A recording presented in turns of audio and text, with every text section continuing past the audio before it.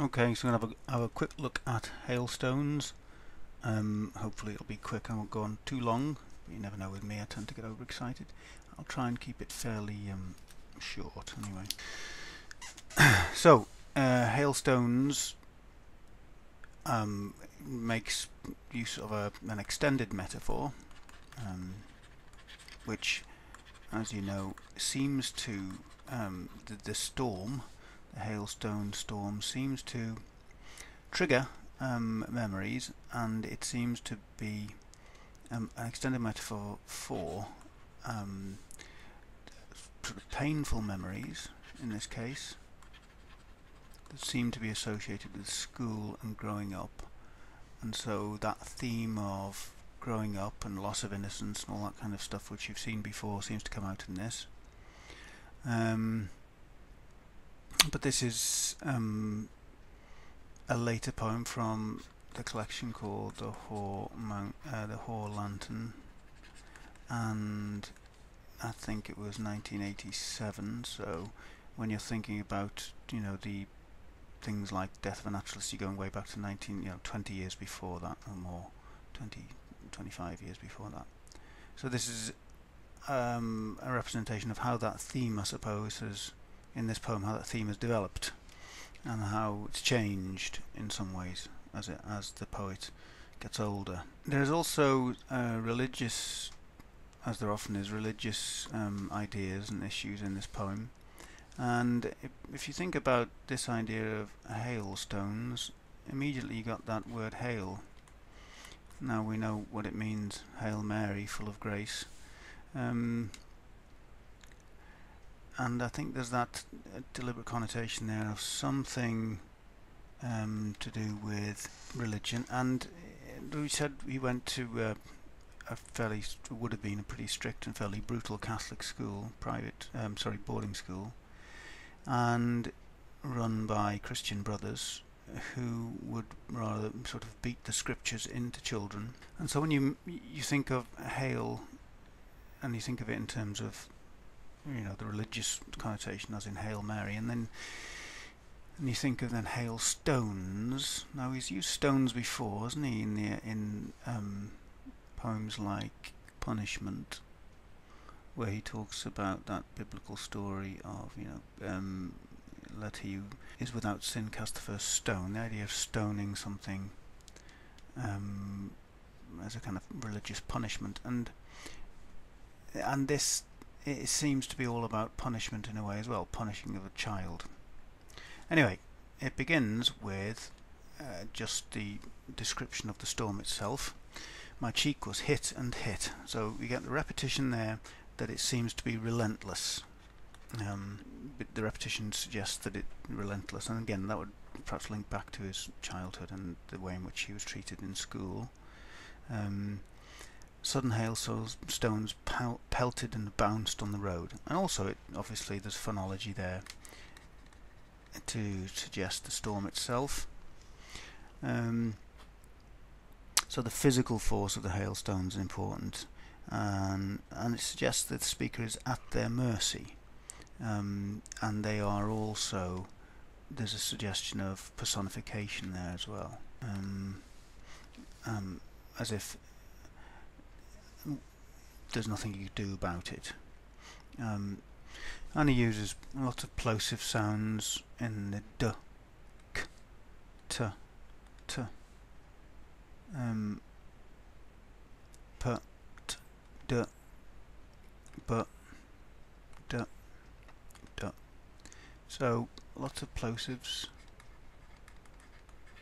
to help um, to, to evoke the speaker's helplessness um, and to you know allow us as a as an audience to hear the sounds of the the hailstone storm.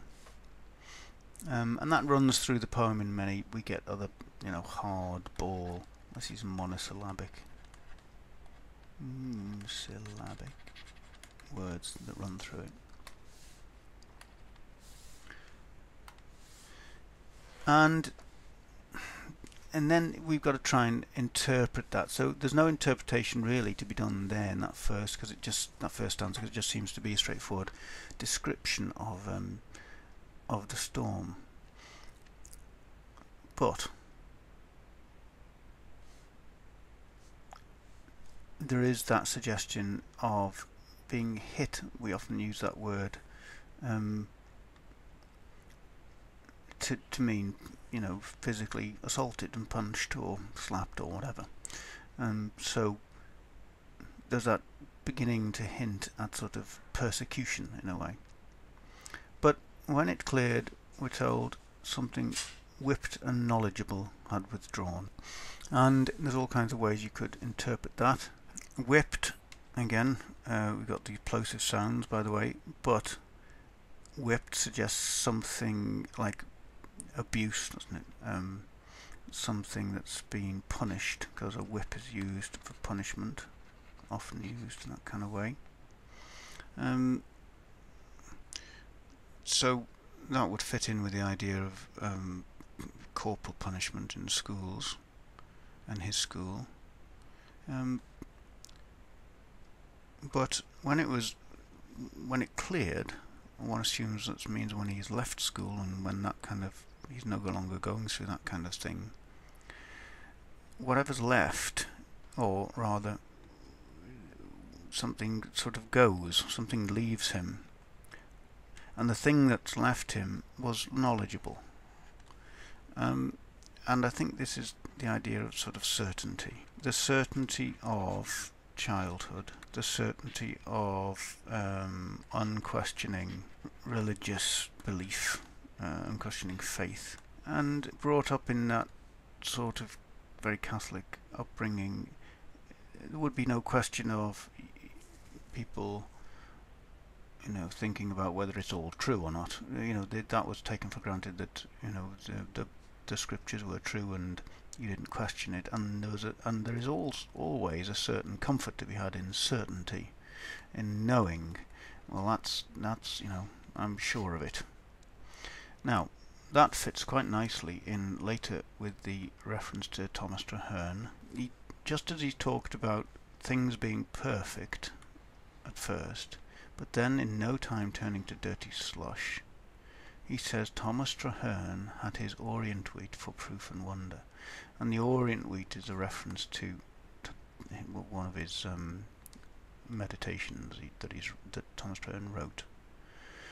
So, when you think of it in this way, of the, the, the very much a sort of death of a naturalist or a blackberry picking type of idea of things as a child being perfect.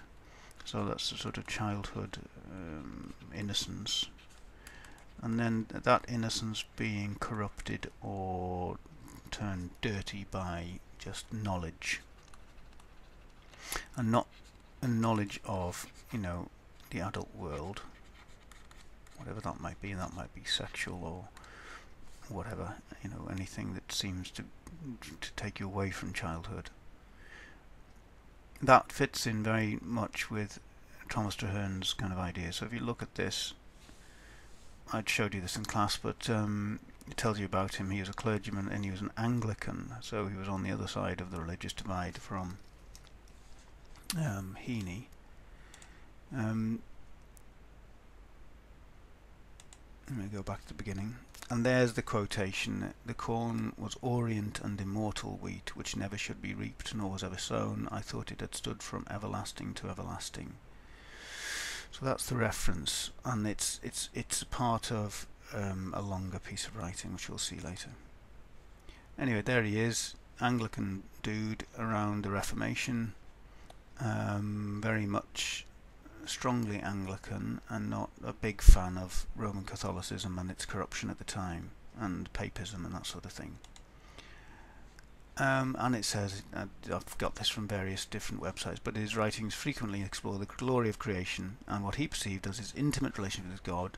His writings conveyed an ardent, almost childlike love of God, and here's a, a part of a poem. O joy, O wonder and delight, O sacred mystery. You can see it's very sort of celebratory of God and God as a son, friend, friend of God. The idea of being uh, sort of bathing in God's light, and you see by this uh, representation of him there, which is a stained glass window somewhere. Can't remember where. Um, and this light is sort of mystical, mysterious, metaphysical light, but it's a it's a a place, a bower of bliss, which would suggest sort of protection and love, and so it's a very, very positive and quite, as I said, childlike in the sense of very, very innocent in a way. His his view of God. There's no questioning. There's no sense of wondering, you know, what God's mission is or God's what do you call it? I don't know. God's meaning and God's um, direction or, or what God what direction God wants to take you in. He doesn't question any of that. Anyway, in the spirit of the Gospel, Traherne's great theme is the visionary innocence of childhood. So this takes us back to childhood. And his writings suggest that adults have lost the joy of childhood, and with it an understanding of the divine nature of creation. Traherne seems to convey the idea that paradise can only be rediscovered and regained through acquiring this childlike innocence, a state which precedes the knowledge of good and evil, and seems to be composed of a boundless love and wonder. So boundless, you know, completely without boundary, um, love and wonder. And you can see in this poem, which is called Innocence, I've missed huge bits out, and you can watch, you can see the rest of it here on this link if you want. But uh, no darkness then did overshade, but all within the pure and bright. No guilt did crush, nor fear invade, but all my soul was full of light. So that's the idea of childhood. No guilt, no fear, uh, light everywhere, no darkness. And then it, towards the end he says, an antipast of heaven, like a foretaste of heaven. So being a child was a foretaste of heaven, sure. I on the earth did reign, within, without me was all was pure. I must become a child again. So he's thinking that that was the best time. That was the most innocent time, and he wants to sort of return to that in a way, to link with God. So, and he also talks about nature. He saw God illuminated in nature, the infinity of God magnifies all things. He says, Every spire of grass is the work of, of his hand, an ant is a great miracle, and the sweetness and unusual beauty of trees makes his soul almost mad with ecstasy. And the idea was that when we're children, we have a capacity to be ravished by the wonder, beauty, and liveliness of the natural world, but then we lose our amazement through custom and familiarity. And there's more to see about that there on this blog that I've got that from. And I can set down here, I hope you can see how this view of nature might tie in with Heaney's earlier poems like Death of a Naturalist. So, although, I mean, Heaney sort of used it, and many poets have taken that idea of, of the innocence of childhood and closeness to nature and how we seem to lose that in the sophistication of adulthood with learning and this, you know, um, our maturity. Um, but Heaney sort of writes about the the slop and the, the slap and the squelch of nature, the more sort of revolting things about nature, but with a sense that as a child he um, he could appreciate that nature was was a friendly, or I don't know about quite friendly, but certainly fascinating uh, force, which seems in Death Naturalist, um, Personal Helicon, and all these different poems to be a great inspiration to him, but then also seems to have a sort of a darkness to it that that Traherne doesn't really identify. And this is the a larger piece from um, what's called Century, Centuries of Meditations, Traherne's writing. And you could read it all, but basically that's the quotation. The corn was orient and immortal wheat. Now I've said down here the word orient is used in its old meaning of iridescent or lustrous, one of the several references to luminosity of the world um, described by Traherne. So he often describes light. Light is extremely important, as you'd expect. So, and that's the whole quote and quotation. And then it's at the end, so that with much ado I was corrupted and made to learn the dirty devices of this world which now I unlearn, and become, as it were, a little child again, that I may enter into the kingdom of heaven. So, that's his view of God, nature, etc. Right, so, when we go back to the poem, you can see this idea of dirtiness, again, which Traherne just mentioned, the, the um, things being perfect at first, again, this, I think, similar idea, innocence, and then made dirty by the adult world. But then we get Thomas Traherne had his Orient wheat for proof and wonder, but for us, It was the sting of the hailstones and the unstingable hands of Eddie Diamond foraging in the nettles. So, but for us, now the, the deictic us there is important. Um, us meaning obviously it's a proximal um, deictic expression um, and proximal and person deictics deixis isn't it? Which is inclusive so but also exclusive because it excludes the the other side the Anglican or the Protestant so we we as Catholics he says had the sting of hailstones now that's that's the sort of brutal um, treatment that he had at school. That's what it represents. That brutal Christian brothers kind of strict Catholic um, training, I suppose, whichever you call it, that he suffered, or they suffered. Us, him, and his mates, people like Eddie Diamond. And then this is obviously a, a reference to nature, um, and that almost suggests a kind of unstingable hand that there's so so much kind of pain in a sense in their in their childhood that they became hardened to it. And so there's a contrast there in the in the view that Traherne had of ch the childhood wonder of nature being something pure and full of light and full of happiness and joy, whereas Heaney's suggests more pain um, and um, this stinging pain, which is the stinging and the smarting he uses earlier. It suggests a kind of burning pain, and that that's the kind of pain you get when somebody hits you with a strap or a cane. Um, that sort of stinging, because that would sort of fit in with that whole idea of the ruler across the knuckles that we get up here. So if you go with that interpretation of this this certainty of uh, belief, which was sort of beaten into him as a child, he begins to drift away or melt away as he gets older. So it becomes more uncertain, and so it's something that Whipton knowledge had withdrawn and left me there with my chances. So a, a chance is not certain. So I think that would fit in as well. And from that, these memories and religious upbringing, he made poetry. I made a small hard ball of burning water running from my hand, just as I make this now out of the melt of the real thing. The melt of the real thing, I think, is the memory, and it seems to me that somehow it's as it's it's burning, so it still hurts this memory, and and but but at the same time he can uh, uh, as, uh, it can be triggered by, say, uh, an episode like this. Suddenly, he it, it, the memory uh, is triggered by this hailstone storm, and when it when the memory comes, it's it's still burning. Um, but I think perhaps he's talking about the the idea of inspiration that he has to write, um, but it's it's it's running from his hand. It's almost as if the memory is slipping away um, so he has to write it sort of quickly, I suppose. But anyway, as I make this now, so again we get some deixis there, which just orientates us as to make sure you know that he's talking about now, meaning as an adult, and he's looking back.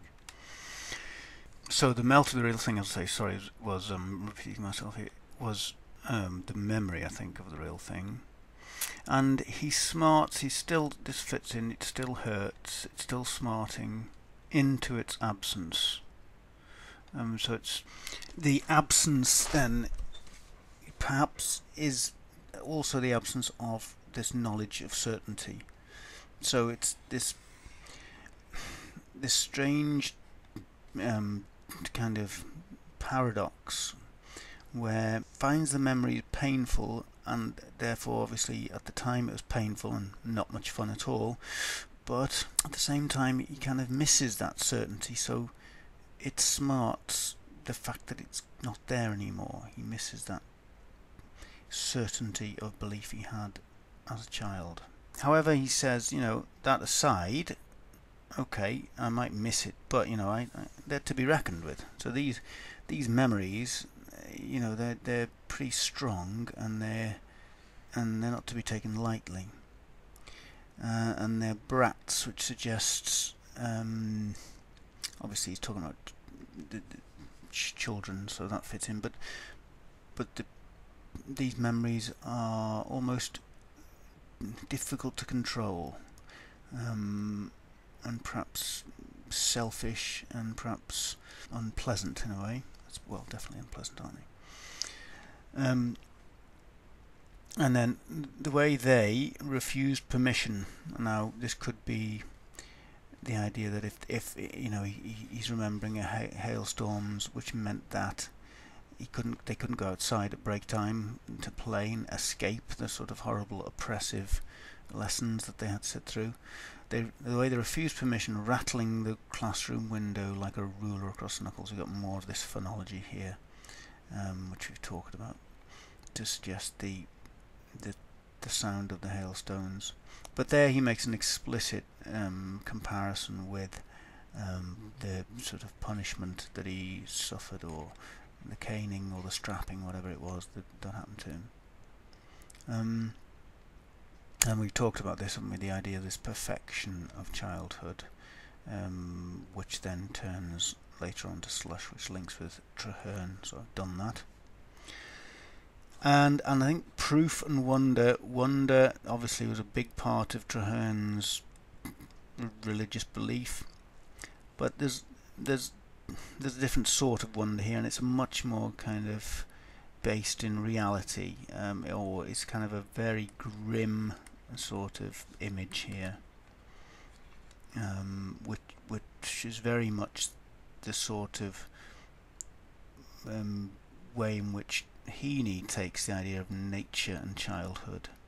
That nature can sting you, um, just like the frogs in um, Death and Latrist were um, mud grenades. They were dangerous, and that the uh, the blackberries and blackberry picking turned um, rotten and nasty and so there's a there's, there's always this, this kind of double edge this paradox to what he's saying. He both loved nature and but also um, and, he loved everything about nature but also there was a, a dark side to it. Whereas Traherne's view of nature and of God um, is just absolutely positive, full of light, full of wonder, and and, and this sense of this idea of proof that he, there was certainty there, but and this you know this conjunction is highlight foregrounded by being the start of the stanza and the, and the, the enjambment foregrounds it. Um, for them, that there was no such proof really. You know, it wasn't the the proof came out of pain, the, the pain of the punishment that they were they were told, you know, all they had to believe and they had to have faith, or somebody'd thrash them with a with a stick. Um, and so this is this is the dark side of nature, which is which is what he often is concerned with. And then something else he does, which is kind of weird, but he's done it before, is to then mix up sort of sexuality and um, pain, and I think the, the bite lumps is very much like love bite, and I think that's deliberate.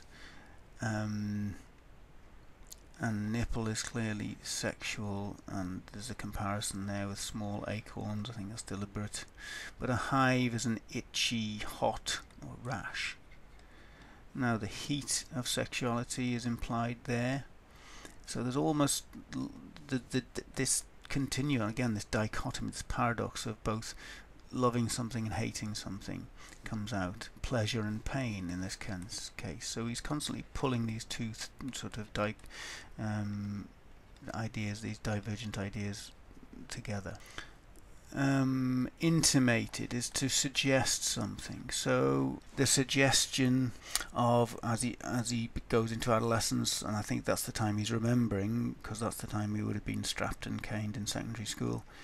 Um, he remembers again the pleasure, possibly of you know the first hints of sexuality,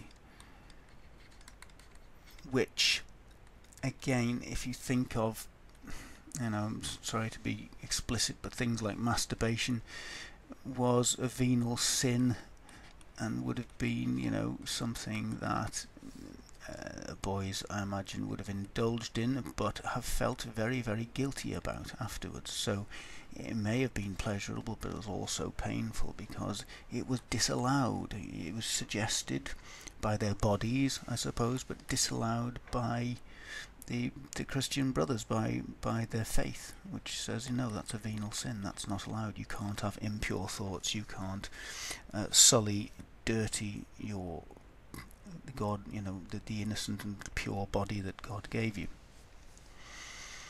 And when the shower ended, and everything said, wait. Now, and this is a difficult bit. For what? For 40 years to say there, there you had the truest foretaste of your aftermath, in that dilation when the light opened in silence and a car with wipers going still laid perfect tracks in the slush.